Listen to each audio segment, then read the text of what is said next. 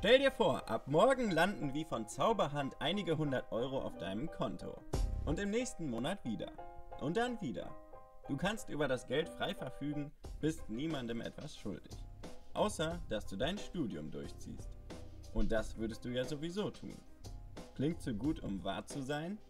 Nicht mit einem Stipendium. In diesem Video zeige ich dir 5 Schritte, mit denen auch du ein Stipendium an Land ziehst damit du dich mit vollem Einsatz auf dein Studium oder dein Auslandssemester konzentrieren kannst und eine große Sorge weniger hast. Und damit herzlich willkommen bei Schreib! Bevor wir loslegen, abonniere unbedingt noch schnell meinen Kanal, damit du in Zukunft keine Videos mehr verpasst und wir dein Studium gemeinsam auf das nächste Level heben. Tipp Nummer 1. Zweifel beseitigen. Ich kenne das. Auch ich habe mich während meines Studiums zweimal um ein Stipendium beworben. In meinem Fall jeweils für ein Auslandssemester. Die größte Frage, die ich mir damals gestellt habe, war, wie sind eigentlich meine Chancen?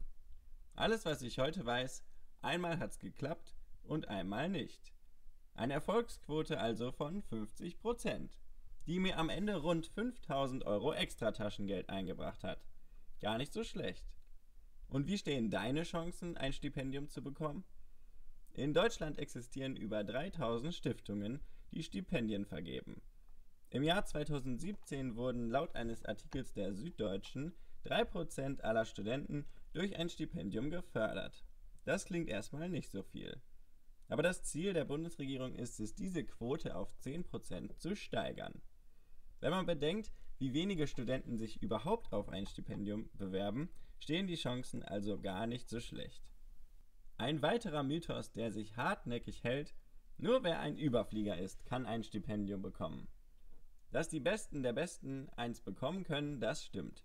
Aber bei einem Großteil der Förderprogramme ist dieser Faktor kleiner als man denkt. Oder auch gar nicht vorhanden. Es gibt reihenweise Stiftungen und Förderprogramme, deren Mittel aus Mangel an Bewerbern gar nicht erst ausgegeben werden. Mein eigenes DAAD-Stipendium von dem ich eingangs sprach, wurde aus sogenannten Restmitteln bezahlt, die aufgrund zu weniger Bewerbungen erneut ausgeschrieben wurden. Der erste Schritt, wenn du ein Stipendium an Land ziehen möchtest, ist also, dich erstmal überhaupt um eins zu bewerben und jegliche Zweifel hinter dir zu lassen. Tipp 2. Gründliche Recherche. Die zweite Voraussetzung für eine erfolgreiche Bewerbung um ein Stipendium ist das Wissen, welche Förderprogramme es überhaupt gibt und welches auf dich zugeschnitten ist. Das größte Volumen an Fördermitteln ist naturgemäß in staatlichen Programmen zu finden, wie beispielsweise dem Deutschlandstipendium. Für Auslandsaufenthalte ist der DAAD, also der Deutsche Akademische Austauschdienst, die größte Instanz. Doch wie schon gesagt, existieren Unmengen an weiteren Förderprogrammen. Bei privaten und eventuell politisch oder wirtschaftlich motivierten Stipendien solltest du dich gründlich informieren wer als Geldgeber hinter dem Programm steht. Wenn du ethisch damit konform bist, dann steht der Sache nichts im Weg. Aber wie findest du denn jetzt das richtige Stipendium? Hier empfehle ich dir zwei Wege. Erstens die Internetrecherche. Der einfachste Weg, um einen Überblick zu bekommen, führt über Good Old Google. Außerdem sind das hier die gängigsten Portale, um Stipendien ausfindig zu machen. Stipendienlotse, MyStipendium und eFellows. Eine gute Möglichkeit, um tiefer in das Thema einzusteigen, sind außerdem Erfahrungsberichte. Auch diese findest du online. Und zweitens Informationsveranstaltungen. Ausnahmslos jede Uni bietet jedes Semester oder einmal im Jahr eine Infoveranstaltung an. Dort berichten die zuständigen Mitarbeiter von den Möglichkeiten der Förderung. Auch Unis vergeben intern manchmal Stipendien. Außerdem werden oftmals geförderte Studierende eingeladen, um von ihren Erfahrungen zu berichten. Es ist ungemein hilfreich, die zuständige Person an deiner Uni ausfindig zu machen. Stell ihr all deine Fragen und fordere Infomaterial an. In vielen Fällen, zum Beispiel bei uni-internen Stipendien, ist es genau diese Person, die über die Förderung entscheidet. Bleibst du ihr positiv im Gedächtnis und zeigst Engagement, dann steigerst du deine Chancen auf ein Stipendium. Tipp 3. Vorlaufzeit und Organisation. Um ein Stipendium bekommen zu können, musst du bis zu einer bestimmten Deadline alle geforderten Bewerbungsunterlagen und Dokumente bei der zuständigen Kontaktperson abliefern. Und diese Deadline kommt immer zu früh. Hier ein Beispiel. Die Deadline für Promos-Stipendien zur Förderung von Auslandsaufenthalten ist immer im Oktober, wenn der Aufenthalt im darauffolgenden Jahr erfolgen soll. Startest du beispielsweise ein Auslandssemester im November, dann ist die Deadline für dich 13 Monate vorher. Je früher du dran bist, desto besser.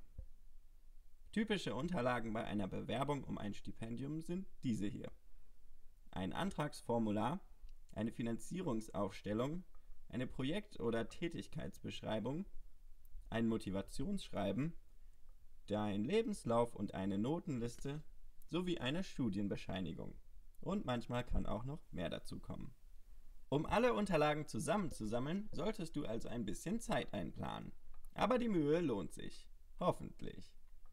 Um immer den Überblick zu halten, solltest du auf eine gut durchdachte Ordnerstruktur zurückgreifen, um die Dokumente und Entwürfe digital zu organisieren. Hier oben rechts zeige ich dir im Detail, wie du das tun kannst. Tipp Nummer 4. Überzeuge mit deiner Vision.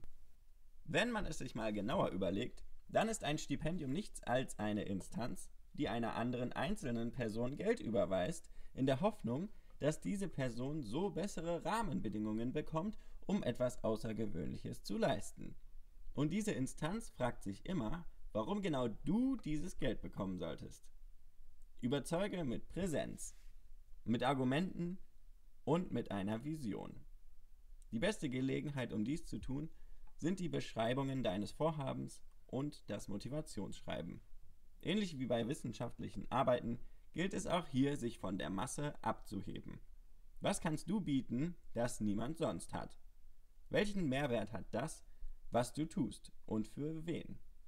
Eine ausführliche Anleitung zum Verfassen eines Motivationsschreibens findest du auch hier oben rechts. Tipp 5. Mache einen professionellen Eindruck. Um als geeigneter Kandidat oder geeignete Kandidatin für ein Stipendium in Frage zu kommen, gilt vor allem eins: Professionalität auf allen Ebenen auszustrahlen. Dazu gehören folgende Dinge. Deine Unterlagen müssen vollständig sein. Rechtschreibung und sprachlicher Ausdruck deiner Unterlagen müssen on point sein. Dein Bild auf dem Lebenslauf ist ein echter Hingucker. Und wenn man deinen Namen googelt, dann findet man keine Informationen über deinen zweiten Platz bei der Wet T-Shirt Competition in Lorette Mar von 2016. Und der Rest ist Geschichte. Hol dir dein Stipendium und denk dabei immer daran, Gewinner und Verlierer haben die gleichen Ziele. Entscheidend ist, was die Gewinner anders machen. Gönn mir ein Like, falls dir dieses Video gefallen hat. Und hast du Fragen zum Stipendium? Dann ab damit in die Kommentare. Vergiss nicht, meinen Kanal zu abonnieren, damit du in Zukunft keine Videos mehr verpasst und wir dein Studium gemeinsam auf die nächste Stufe heben können. Jetzt aber viel Erfolg bei der Bewerbung um ein Stipendium und bis zum nächsten Mal.